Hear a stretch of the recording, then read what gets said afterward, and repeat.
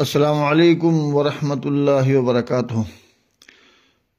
जलालाबाद से मुफ्ती सत्तर अर्ज़ कर रहा है कि हमारे हज़रत मसूलमत नवरकदू का एक मलफूज है और ये मलफूज जो है हज़रत मौलाना थानवी शाह रहमत ने एक हदीस तकशु में इरशाद फरमाई है और बवादर नवादर में भी वो हदीस है।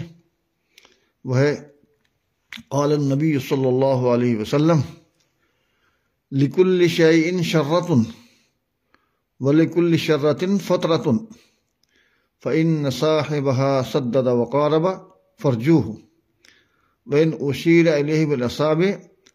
फला ताउद्दू हो कि हर चीज़ के अंदर एक तेज़ी होती है और उस तेज़ी के बाद फिर सुकून होता है बस अगर कोई शख्स जिसके अंदर तेज़ी है, अगर वो भाग चला जा रहा कि देखो वो जा रहा, वो जा रहा, वो जा रहा तो उसके बारे में उम्मीद ना रखो कि वो मंजिल पर पहुँच जाएगा।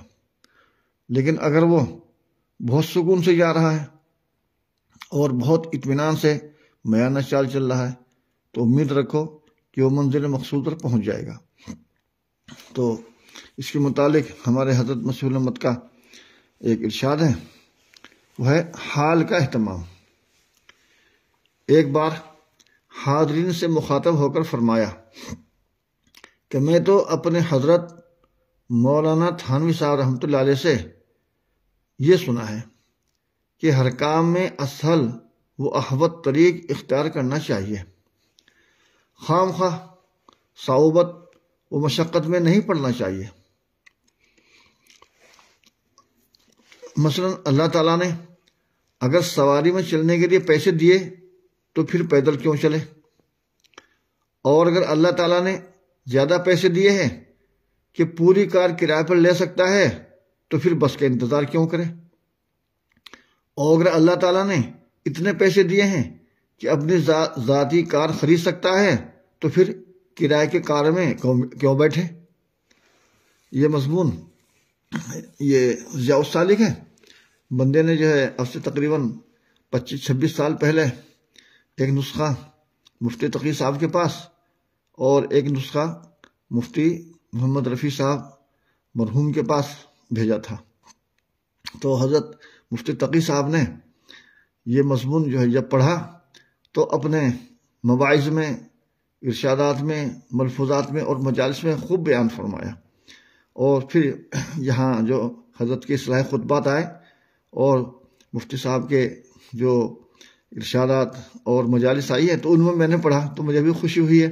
और हज़रत ने इसको खूब फरमाया कि मैं जो है, पहले कहीं जाना होता था तो ऐसा होता था कि अगर बस में जो है सिर्फ़ पचास रुपये लगे तो मैं किराए की कार मंगवाता था। और उसमें कई सौ रुपये मसलन चार सौ, पाँच सौ रुपये खर्च होते थे, लेकिन वक्त की बहुत बचत होती थी।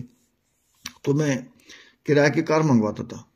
और लेकिन ये ख्याल रहता था कि पचास रुपये में जब काम चल सकता है तो पाँच रुपये क्यों खर्च किए? लेकिन हज़रत का ये मलफूज पढ़ने के बाद मुझे तसल्ली हो गई और हज़रत मुफ्ती तकी साहब ने इसको अपने जो मजालिस, वो जो आपकी मजालिस होती हैं, उनमें भी और आपके जो इसलाह खुतबात, उनमें भी खूब बयान फरमाया। और माशाल्लाह इसको बहुत पसंद किया।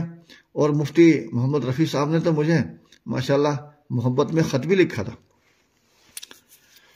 दूसरी बात, फरमाया कि ज़माने तीन हैं, माजी, हाल, मुस्तकबिल। कि माजी का गम नहीं, लिहाजा उसमें जो कुछ हुआ सो हुआ।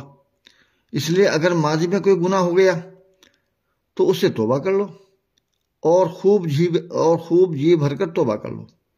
इसके बाद उस गुनाह को मत सोचो। बल्कि उससे बेख्याल हो जाओ। और अगर कुछ नुकसान हो गया था तो उससे भी सबक हासिल करो कि आइंदा उससे बचने की तदबीर इख्तियार करो। सिर्फ़ गम करने से क्या फ़ायदा? और मुस्तकबिल का फ़िक्र नहीं कि यूँ हो और वो हो। बस हाल का अहतमाम कि जिस काम का जिस वक्त जो सही तरीका है, उस काम को उस तरीके से अंजाम देना चाहिए। लिहाजा। इस बयान का खुलासा यह हुआ कि तमाम कामों में असल व अहवत तरीक इख्तियार करना चाहिए। दो, माजी का गम नहीं, मुस्तकबिल का फ़िक्र नहीं, बस हाल का अहतमाम वला खौफन अलहम वलाहम यहजनून, ये उसकी तफसीर हो गई। और ऊपर का जो मलफूज है, वो हज़रत मोहम्मद थानी साहब रहमत जो हदीस बयान फरमाई कि लिकुल्ल शैन शर्रतन व लिकुल्ल शर्रतन फितरतन, फतरतन। फ़ैन नसाहिबहा सद्द वक़ार व फरजू वन उशीर बिलसाब फ़ला तउद्दू ऐसे ही शेख सादी रहमत ने भी इसके मुतालिक एक शेर फरमाया अय बसा अस्पते अय बसा अस्प तेज रो के बमांद। अय बसा अस्प तेज रो के बमांद। के खरे लंग जा व मंजिल बसलामत बुर्द। कि हमें बहुत देखा है कि बहुत तेज घोड़े जो हवा पर, समझो, हवा की रफ्तार वाले ठोकर खाए और गिर गए। और जो मयाना चाल चलने वाले हैं, वो अपनी मंजिल मंजिल मकसूद पर पहुँच गए। ऐसे ही हज़रत फरमाया करते थे कि ये बात जो है इकतसादियात से मुतक है। लिहाजा अपने घरेलू ज़िंदगी में और अपनी ज़ाती ज़िंदगी में क्या मयाना रवि इख्तियार करना चाहिए, जिसको इकतसाद कहते हैं, कि ना बहुत ज़्यादा तेज़ चले, यानी ना बहुत ज़्यादा खर्च करे, फजूल खर्ची करे, और ना बहुत बहुत ज़्यादा तंगी करे, यानी बुखल तक पहुँच जाए, बल्कि मयाना रवि और इकतसादियात पर इकतसादियात के कायदे के मुताबिक मयाना रवि इख्तियार करे। इससे इन ज़िंदगी बहुत आराम से गुजरेगी। अस्सलाम वालेकुम वरहमतुल्लाहि वबरकातुहू